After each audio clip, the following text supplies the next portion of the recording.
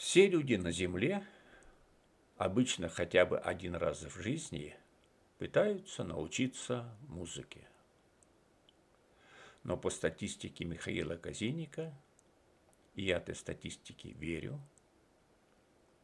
из двух тысяч людей, которые начали учиться музыке, 1999 музыку непременно бросят, инструмент продадут или задвинут в угол и уже никогда к нему не подойдут. Если их спрашиваешь, почему бросили музыку, обычно сердятся. Что, сам не знаешь? Медведь на ухо наступил. Таланта нет. Сердятся они зря, я спрашиваю не потому, что не знаю, а как раз потому, что знаю. И знаю наверняка, точно, что ни их талант, ни тем более медведь к их неудаче никакого отношения не имеют. Все дело лишь в том, что их не научили чему-то очень важному – необходимому в музыке, без чего музыки не бывает. Этому важному, совершенно необходимому в музыке, должны были бы учить музыкальные школы. Но, к сожалению, музыкальные школы любого уровня этому не учат. К счастью, научиться этому все-таки возможно. Я учу музыке уже более полувека, и у меня были самые разные ученики. Были совсем маленькие, совсем старенькие, были очень умные, а были и такие, что в школу не берут. Но вот такого, чтобы не смог научиться музыке, у меня не было ни одного я могу утверждать, и я утверждаю, что любой человек, каждый, может научиться играть музыку так, чтобы она приносила радость и тому, кто играет, и тому, кто слушает. А что для этого нужно делать, я и расскажу в этом моем видео на примере работы над пьесой Бетховена «К Элизе».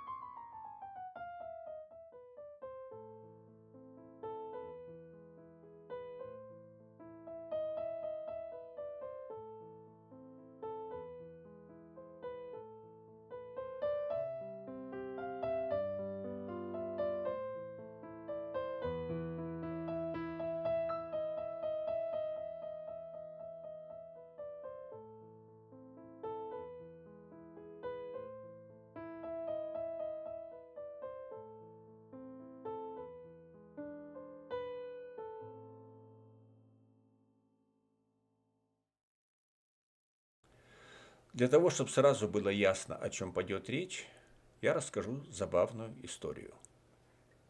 Произошла она в Южной Африке в те времена, когда не было интернета и, конечно же, Гугла, а сама Южная Африка находилась в международной изоляции.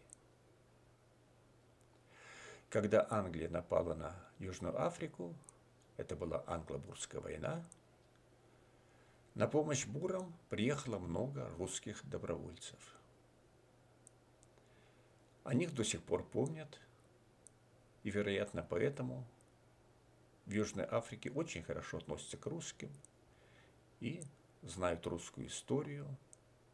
Многие читают русские книги, смотрят русские кинофильмы и даже поют русские песни. И вот меня пригласили в школу послушать выступление хора. И этот школьный хор спел для меня песню, которую в России поют на слова «Однозвучно гремит колокольчик». И певцы, с которыми я работал, в России пели ее так –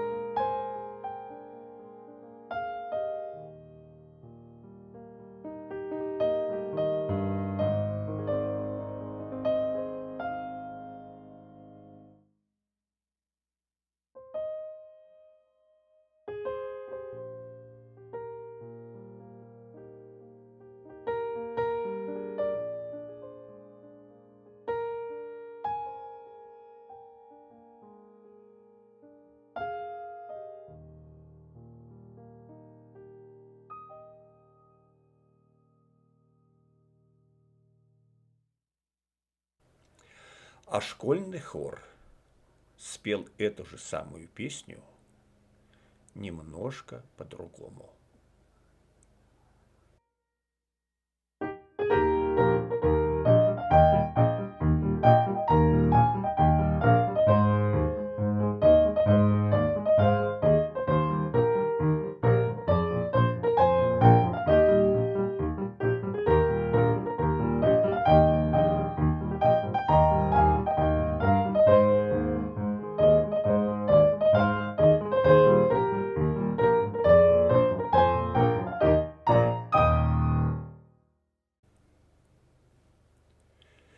Я не стал спорить с такой трактовкой песни и только похвалил всех участников этого исполнения. Я же не знаю, на какие слова они поют эту песню. Может, для их слов именно такая музыка и подходит. Но мне затем предстояло слушать русские стихи. Я очень удивился, спросил, знает ли кто-нибудь в школе русский язык. Оказывается, нет – никто не знает. Но одного учителя кто-то когда-то научил читать стихотворение Лермонтова «Ночевала тучка золотая». И вот теперь этот учитель, используя свой опыт, научил своих учеников читать другое стихотворение Лермонтова. Как он мне объяснил, ему дали очень простое и ясное правило – нужно читать первый слог громко, это ударный слог, следующий тихо, безударный. И так все стихотворение. Ударный, безударный, ударный, безударный, ударный, безударный. Ночевала тучка золотая на груди утеса великана. Утром в путь она умчалась рано, по лазури весела играя. Ну вот точно так же хор исполнял другое стихотворение Лермонтова, каждый участник по одной строфе. И получилось у них так. Скажи-ка, дядя, ведь не даром, Москва спаленная пожаром, Французу отдана. Ведь были схватки боевые, Да говорят еще какие, Недаром помнит вся Россия Про день Бородина и так далее. Но тут я уже не выдержал и сказал, что, конечно, молодцы, они выучили так много русских слов, проделали такую громадную работу, но, к сожалению, ударения в словах не те, которые должны быть. И вот для того, чтобы им легче было понять ударение в этих словах, я им напел русскую песню на этот текст – это солдатская песня. Скажи-ка, дядя, ведь не даром Москва спаленная пожаром Французу отдана. Французу отдана. Ведь были схватки боевые, да говорят еще какие. Недаром вспомнится Россия про день Бородина и так далее. Участники хора сначала смутились, а потом возмутились. И сказали мне, что уж эта музыка совершенно не годится для этих стихов. Совершенно не подходит к тем стихам, что они выучили. То есть, зная одно лишь это нелепое правило, первый слух ударный, второй безударный, первый ударный, второй безударный, им казалось, что они лучше меня знают, как исполнять эти стихи Лермонтова. Вот точно такая же ситуация сегодня в нашей музыке и в музыкальном образовании. Кто-то когда-то решил, что одно известное ему правило, а именно, как исполнять военные марши, применимо ко всей музыке в целом. И вот как играют военный марш – Громко, тихо, громко, тихо, громко, тихо, громко, тихо. Это для того, чтобы солдаты все вместе топали на один и тот же счет левой, правой, левой, правой, левой, правой, левой, правой.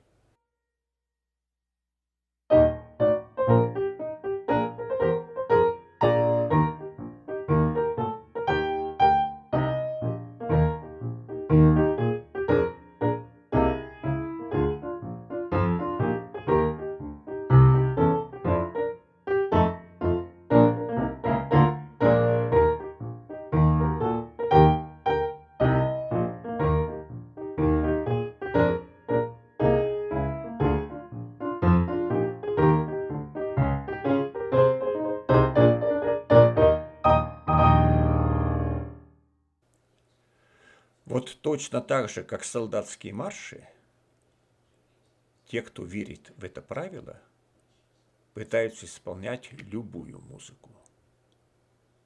Громко, тихо, громко, тихо, громко, тихо, громко, тихо. Но музыку, которая предназначена не для ног, не для солдатских сапог, а для всего, что находится у нас выше линии пояса, то есть для ума, для сердца, для души. Это правило здесь совершенно не годится. Но какие же правила существуют для такой музыки? Если не на свете вообще. Вот об этом будет речь в нашем следующем видео. Я надеюсь снова видеть вас у экрана. Спасибо за просмотр. Всего вам доброго.